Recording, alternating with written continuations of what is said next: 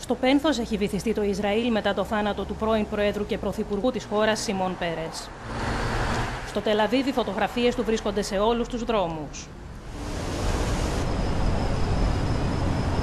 Ο Πέρες θα ταφεί την Παρασκευή στο κημητήριο του όρου Χέρτζλο που έχουν ταφεί σημαντικές προσωπικότητες του Ισραήλ.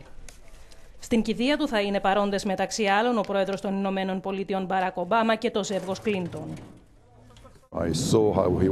Έχω δει πως γινόταν δεκτός ακόμα και όταν δεν είχε κάποιο αξίωμα. Είχε ένα κόκκινο χαλί και όλος ο κόσμος τον υποδεχόταν σαν βασιλιά.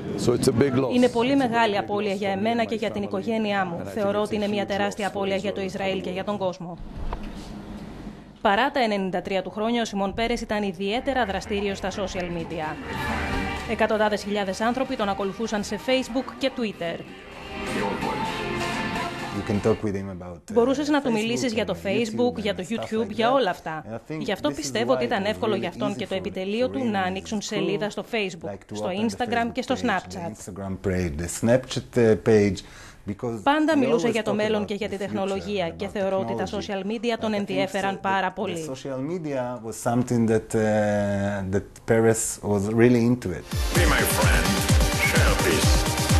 Δεν ήταν λίγες οι φορές που ο Σιμών Πέρες χρησιμοποιούσε αυτές τις πλατφόρμες για να απευθυνθεί στους νέους ζητώντας τους να αγκαλιάσουν την ειρήνη. Be my friend, share peace. Speak up.